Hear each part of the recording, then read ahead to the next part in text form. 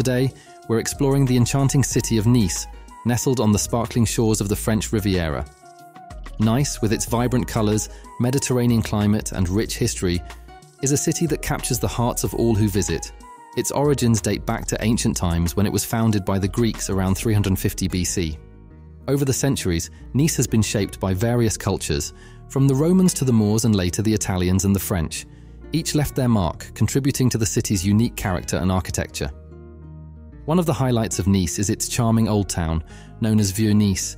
Lose yourself in its labyrinth of narrow streets lined with colourful buildings, bustling markets, and quaint cafes. For breathtaking views of the city and the azure waters of the Mediterranean, head to Castle Hill.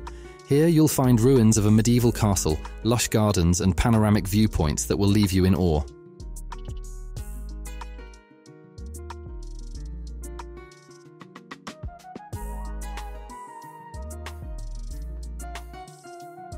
No visit to Nice would be complete without strolling along the iconic Promenade des Anglais.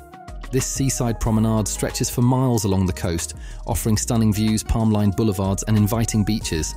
And let's not forget about the culinary delights of Nice.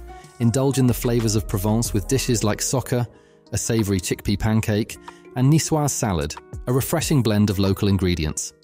Whether you're exploring its ancient streets, lounging on its beaches, or savouring its culinary delights, Nice is a city that promises to enchant and inspire. So come, experience the magic of Nice for yourself. If you enjoyed this video, don't forget to give it a thumbs up and subscribe to Connolly Cove for more travel adventures. Until next time, bon voyage.